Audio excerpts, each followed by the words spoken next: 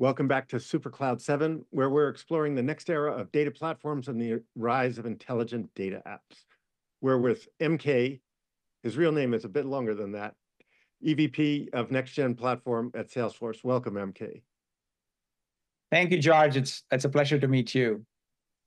Okay, so let's dive right in. The data clouds that have dominated the first wave um, of the industry have been designed to support the creation of analytic data products, such as ML models and BI dashboards. Salesforce Data Cloud is supposed to be a platform that supports a richer class of applications. Describe that class of applications for us, and what it is about the platform that enables it to support something richer than a data product. Yeah, great question, George. I think, like you said, data products typically have been meant sort of for after exhaust signals, meaning you collect the signals, you kind of create these passive dashboards, uh, or sort of ML things. Typically, the challenge that has been, while it has served us a lot, the problem has been that these are often disconnected from your business platforms. Meaning, the data or the insights you have generated in these platforms are not being used in your sales, in your service, in your marketing easily. And so what Data Platform, or rather Data Cloud, tried to do is to really bridge that gap. We're trying to bridge the gap between sort of the CIOs running these data platforms with really the line of business users, like our sales, service, marketers, and others, and make data, really untrap the data in all of these and make it usable to all of these business users. And that's really the fundamental sort of uh, key point with Data Cloud. And also, it's an active platform. What we mean by that is, it's not a traditional platform where you just look at a dashboard. It will go generate alerts, it will go generate flows, it will trigger changes so that you can actually react to all of your data and insights.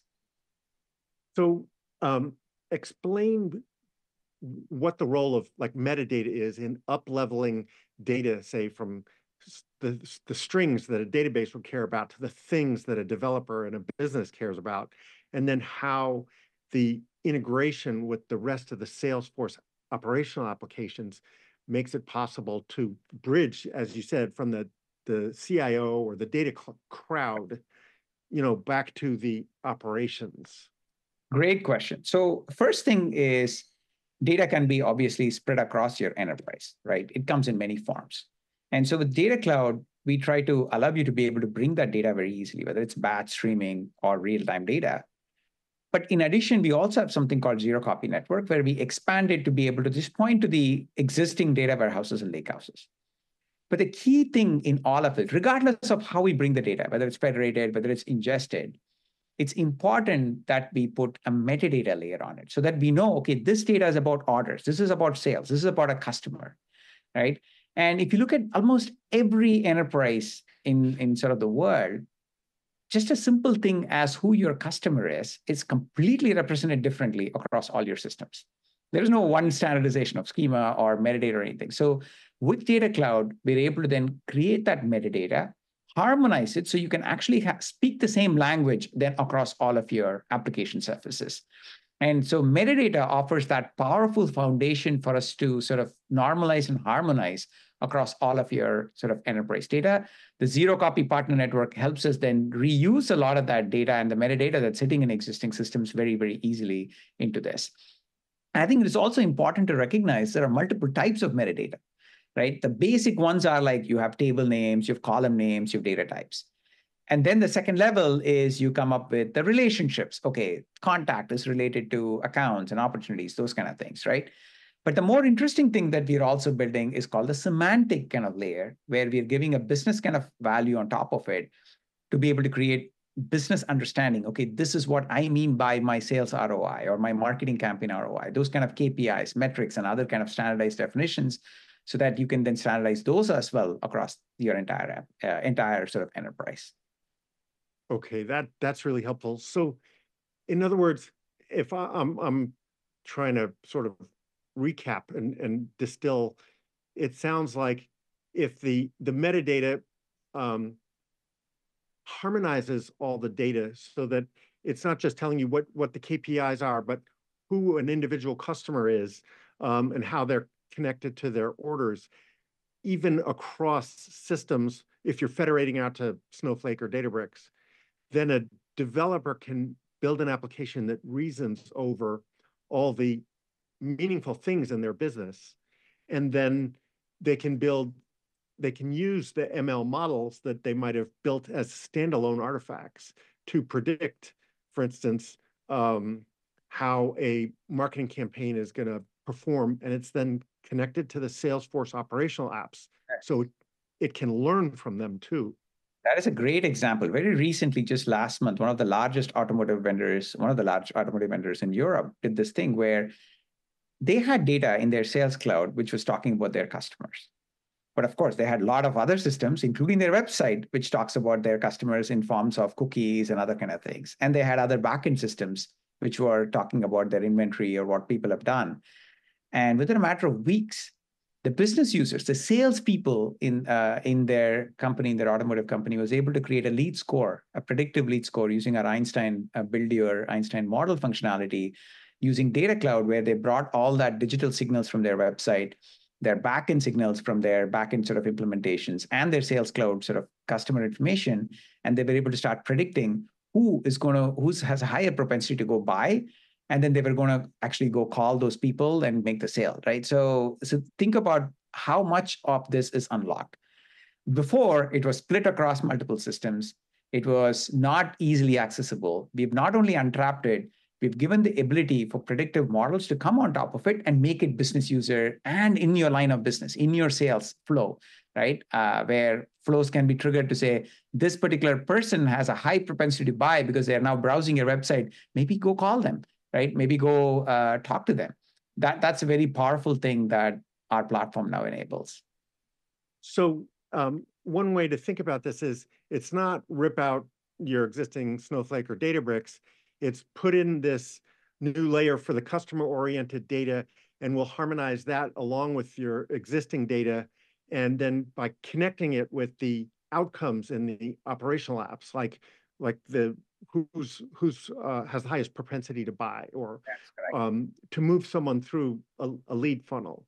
Like you're sort of creating a value add layer on top of the existing data infrastructure, um, where it's it's no longer just standalone data products, but these products are now part of a broader application. It just these operational applications now have richer analytic components. Is that one way of looking at it? Hundred percent. Um, and I think what we have done is four things, right? One is you can certainly reuse all of your existing. In fact, in some ways, Data Cloud lifts all the boats in the sense that you may have spent a lot of money building all of these data platforms, but your LOB business orgs are probably not seeing the value. With Data Cloud, now you can connect it very easily. And then every single investment you've done with your Snowflake, with your Databricks or Azure, et cetera, is now immediately valuable to your business users. Uh, and second thing is it's not just about, like you said, passive data. It's really about making it active so that it can now go trigger actions for all of your sort of business audiences. And third is a lot of these systems typically didn't store web engagement or other kind of data. Now we can pull that also in addition to this and really kind of enrich your overall profile of what the user is doing across your business. Very simple example. Uh, in Salesforce, first of all, we thought we had 200 plus million visitors when we did Data Cloud through our unification we realized it was 100 million people, just at the different IDs. There may be three different Georges in our system, right? But that's also important because I know George as a person probably watched this trailhead, right? Bought this product uh, or shows some interest in my website. And so we are able to collect all of that into that 360 view. And also today, if a high value account is there and you kind of uh, browse our websites and others, we actually are able to Slack, send a Slack alert to the salesperson to say, you know, your high value account they actually browse these products on the website. Maybe you should go have a conversation with them on this particular topic. See the power that it's able to do, not just unification, not just sort of harmonization of this data, but be able to bring all of them and alert using your existing sort of data infrastructure and augmenting it. Okay. So, so let's talk about um, Gen AI, which is not just the biggest productivity boost we've had to software, yep. all, all, sort of stages of the software development lifecycle, but but to end users too. But let's right. go to the personas that first that use the data platform. Um, how might Gen AI um, change the role of data engineering beyond like what you've already done to uplevel it with all the metadata that sort of makes building or eliminates a lot of the pipelines that normally would be built. How, how would Gen AI help a data engineer? Great question. So I think to me, uh, there's two parts to Gen AI. One is like, uh, we call it like AI for data and data for AI kind of thing. Right? We all know how much important data is for AI, and that is used sort of in the applications. We'll talk about it.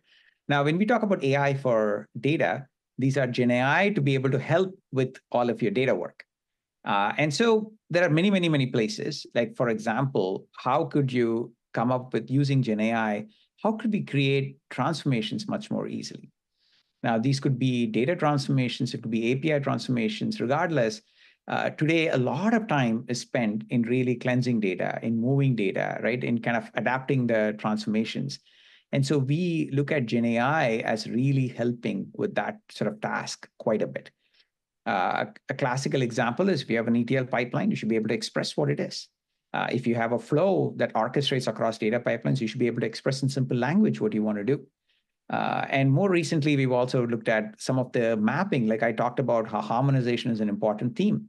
But that's often the hardest because in a lot of cases, your data may not exactly be uh, easy to say, oh, this field, how do I map here? And this is kind of, again, where Gen AI is very useful. There's another big effort that we are doing, which is we often, when we talk about Gen AI, people only look at that looking at the data, like RAG and everything else is all about data. But we believe metadata is also equally important. So we use Gen AI techniques to go index all the metadata so that when I ask a question, uh, particularly with like all data cloud thing like I talked about, you're going to have thousands of tables. Each table may have hundreds of columns. We're talking about like imagine the explosion of metadata that you have. And so it's really, really, really hard for anyone to quickly know, okay, which table and which column should I even look at if I want to transform, if I want to use it in my application. And so we have techniques we've built where we now index this metadata as well, along with some sample data.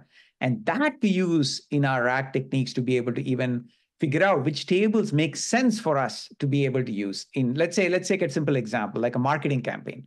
If i ask saying find me all the segment of adults living in new york city who have purchased something this probably will touch 15 different tables. How do you even know what tables to start with? And that's okay.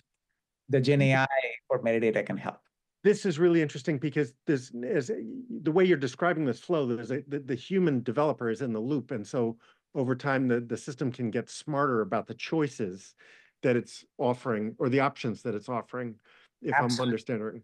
So, but let's take this now, that same knowledge of the metadata and the underlying data, and let's talk about the business user in right. the different functions that want, might want to interact with the data more naturally than, you know, the pre-built dashboards. Yep. So this is, there's, there's been a an assumption that BI would be totally revolutionized sort of instantaneously by LLMs, but it's not so easy as you were describing to map a, a user and a natural language intent to the underlying SQL. So we've heard from a bunch of BI vendors that you really need this metric definition layer. Right. Um, what are you working on in that area? And and um, what's possible in terms of natural language interaction with data without that metric definition layer for an end user yep. and what's possible with it? Yeah, great question. First of all, I feel uh, the analytics layer is probably the hardest in GenAI, and I'll tell you why. Because if you tell somebody, let's take the CEO, he's saying, hey, what's going to be my sales for next quarter? And you give a number, that number better be accurate, right? Like you don't want AI hallucinating and saying, yeah, I think it's going to be 20% or it's maybe 30%, right? And so it's really important we get that right. And so there is like, you should you should look at it in two ways. One is explanation of metrics that we have. Gen AI is awesome at it. And we already have that sort of working, right? On all of your existing sort of data thing that you may have created. And then there is the second part is how can you use Gen AI to go create those metrics as well? Uh, and that's kind of where Tableau Einstein and many kind of things that we're working on. And part of that effort is also standardizing that metric layer, or we also call that semantic models. Because uh, again, we are taking a platform first approach because what you've seen in the industry is semantic models tend to be only with the analytical layer. And often it's not usable by the rest of your applications at all. right? And so it's often sitting with our data analysts and they're creating models, and that's the dashboard you can see. What about like why can't I use the ROI in my sales sort of thing? Why can't I go trigger an alert if my uh, thing is going to change, my ROI is changing, and so on. And so we are sort of bringing that metric layer with Data Cloud on a common platform. So it's going to power all our analytical experiences, all our dashboards, and everything else with Gen AI. But it's also going to power analytics, uh, power AI, all of our Copilot and agent experiences, as well as automation. So you can go trigger flows and building those new applications as well uh, using the same model. Okay, so so let's pivot to, to agents. So you gave me a, an opening there. Um, so um, first, just to set like level set, what what is an agent? What does an agent do? Great question. So agents, you should think of as the next level of evolution of Gen AI. Right? We started off obviously with predictive AI, then we kind of like with Gen AI, we kind of created co-pilots where you can some ask questions agents becomes the next level of evolution where it can start doing more complex tasks by kind of decomposing them and calling other either APIs or other backend agents to really compose them together. Uh, so that's really what an agent is. And a very simple example, if you want to give, is typically in the service case, a digital agent. So you could go to a website and you should be able to say, hey, what's the status of my order? And that could be decomposed into 15 different things behind to say, okay, who's this person? What order have they actually ordered? Has it shipped, not shipped, and why? Right. So you can see how many complex things it has to probably do. That's what an agent can quickly do. Okay. You also laid out nicely some of the key building blocks. It sounds like you're going to need it's not just access to raw data, but you're going to need uh, data that has semantically um, enhanced or defined so that you can reason over it. So you know what an order is and it's not, you know, some right. three letter acronym in a, in 50,000 SAP tables. That's right. So um, maybe help put the pieces together for us about data cloud with semantically, you know, defined data. So it speaks the same language as, as the business and the model. And then the connectors that MuleSoft, you know, provides. And then the common data model and workflow definitions from Salesforce itself and how agents would interact with all those pieces and with each other? Great question. So I think agents really bring everything together, right? So we talked about sort of the data cloud pieces, which can bring data either through ingestion or through federation. And we can create sort of the metadata layers on top. Uh, and we can also do the harmonization, unification, all that, give you that 360 view and create the semantic models as well, right? To give you KPIs, metrics, and all that stuff. Now, this is great if you're able to bring all that data together. Now, also in the same enterprise, you're going to have tons of other applications which have sort of APIs, which have higher level sort of API semantics, or maybe there are old applications you built maybe with .NET or others which don't even have an API. And this is where things like RPA and others that MuleSoft provides can kind of help. So we look at it as a uh, sort of a parallel thing where you do data integration. Again, you can use MuleSoft connectors and others, create these rich models. And also you have API level integration for opening up your enterprise applications, if you may. Now, regardless, they are all part of the platform. So that means that same metadata is available throughout the platform. And you now have other things also in the platform like Flow, like Apex, right? Uh, and, and sort of other entities which are also have metadata in them. Now, agents, what they do is they are able to access all of this stuff, whether it's data, whether it's APIs, whether it's actions like Flow, Apex, and other kind of things, because they have metadata. Now, it's important to know for an agent, what you can do is create these notions of topics. And you can say, okay, for doing an order, these are the set of things you may need. And then a topic would give the description that this is about order fulfillment. Or you may have a set of things to say this is about order status, uh, and so on. And then a collection of those topics would be about a co-pilot or an agent that says this is about a service agent, right, which can talk about orders and status and all that. Or you may have a sales agent, which is all about SDRs, which can sort of help figure out what are the knowledge articles I need to go pull in so that I can uh, educate the user so I can actually make a sale. So think of as building blocks of you have data, structured or unstructured, with semantic models. You have MuleSoft with APIs and access with RPAs. And then you have the platform with all the metadata with the actions, data, API actions. And then the Copilot agents with topics to segregate which makes sense for what roles. And then you have the agents on top that can then interact either with end customers or with employees to be able to then orchestrate across. The agent, what it's doing there, if I ask a question, it needs to figure out the intent of the question. And then it needs to figure out, okay, which topics would make sense? And then how do you chain all of the APIs or actions within those topics to really create the right answer? And then have the session context to know, okay, what is the user doing so I can actually answer subsequent questions based on the initial responses. So that's how this whole sort of layer is built up.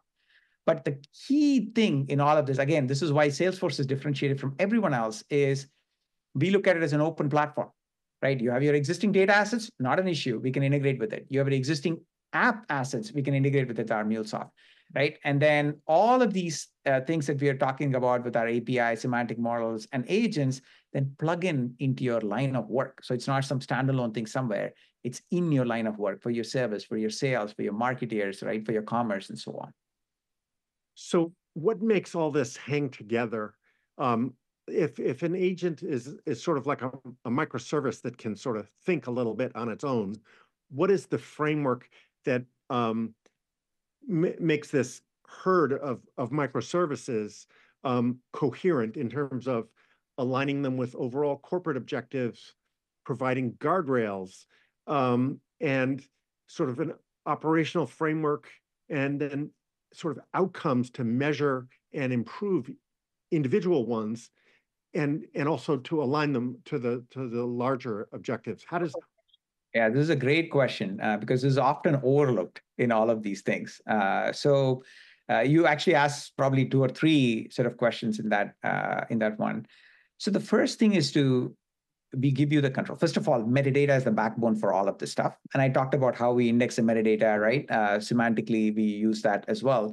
Metadata is important because metadata tells you which APIs even make sense or not make sense, right? And so we have an extensible way as an agent for you to go define these topics, create the descriptions for those topics very clearly so the LLMs can interpret what it is, and then gives a set of actions. And you can restrict to saying, okay, only these actions are allowed and so on. And it's possible for you to also put all the rules on who could even access these actions or not. You don't, we probably shouldn't get the access to go update some uh, sales salary information, right? It should be restricted as an example. And so you can put all of the permission sets and others and role role-based access on all of these actions as well and limit the knowledge. Like you don't want a service agent to be able to give you random uh, knowledge about uh, like a sales or marketing, right? So you want to restrict. So you could do all of that. And that is triggered by the metadata that you define for those agents, the topic, the descriptions, the actions, the data that they should have access to, and the user permissions on top of those. That's one set of it. And then the second set is you also have the ability through what we call as our prompt studio to be able to further refine how these agents should behave. So you can say rules such as I want you to be, uh, I don't, I want you to behave in a certain way, or I want you to use my brand voice in a certain way. Like this is how my company will talk to my customer, use those, right? Don't say bad things or whatever it is that you want to do. We have all the trust rules, but you can put on top of it your own company rules, your own brand promises, brand value, brand voice, all of that stuff on top. And that is completely extensible. And then the third part of it is very important is feedback there is two levels of feedback, which is if you're an employee thing where an employee looks at the answers and they're like yes or no, or whether they actually use your response that the agent sends. And similarly on the consumer side, whether the users are happy with that uh, agent responses or not. And then there's a second level, uh, second tier, which is after all that stuff, did the user actually purchase the product or the user actually are happy with the case resolution, right? And that's the outer loop. So in both of these cases, the inner loop, all that feedback also lands back in your data cloud. So as an admin, you have full visibility into saying, how is your AI actually working? Is it boosting your employees' productivity or not? Right? And but more importantly, this is what other AI systems don't have is the outer loop. Right? Did your sales actually close? Did your service cases actually reduce? Right? How's your marketing? Did you actually touch? Did people engage with you based on what you did? that outer loop signals is also available in the same data cloud. So you can cross tie that together to say, okay, I used AI, I enabled the agents for these particular roles. This is my actual outcome. My sales improved, my service uh, CSAT improved, my marketing reach improved. All that is possible. Okay, MK, I think on, we're gonna have to, we're gonna have to call a timeout there because we gotta leave some more topics on agents for our next conversation. Sounds But great. that was, that was uh, really, really educational. It took us all the way from sort of data products to an army of agents and uh, gave us an outline. All right, on that note, thanks for watching. We'll be right back with more from SuperCloud 7, live and on demand from Palo Alto. Thank you.